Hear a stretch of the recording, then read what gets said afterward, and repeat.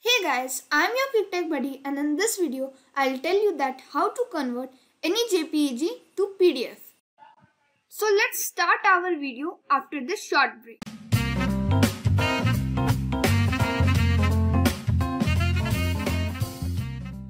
So the contents which I will tell you in this video are First, converting a single image to PDF. Second, converting more than one image to PDF.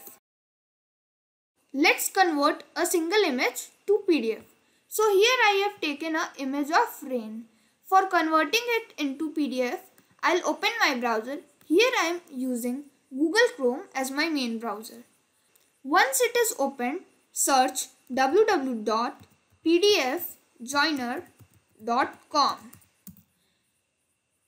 Now it is open and here you can see that upload files. Select it and simply choose the file whichever you want to convert. So here I am taking the image of rain and you can see that it's uploading then it's converting and just click join files. Now here you can see that it is downloading and the name of the file is pdfjoiner.pdf. So we need to rename it. For renaming it, we need to go to library, then downloads and select the file, right click and rename it. So I am renaming it as rain. So our first content is done. So the second topic is to convert more than one images to PDF. For converting it, we will take these three images. Rain, dog and mountains. I'll put rain in the first page, dog in the second page and mountains in the third page. So we need to open our browser again and search www.pdfjoiner.com. And now it is open. We just need to upload the files in the correct order. We need to put the rain file first. So we will put the rain file firstly. Then secondly, we will choose the next file which is of dog. So let me select it.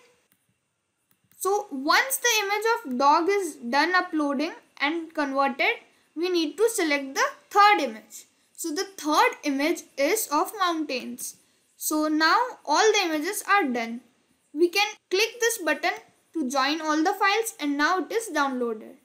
We just need to rename it again and check that the images are in correct order or not.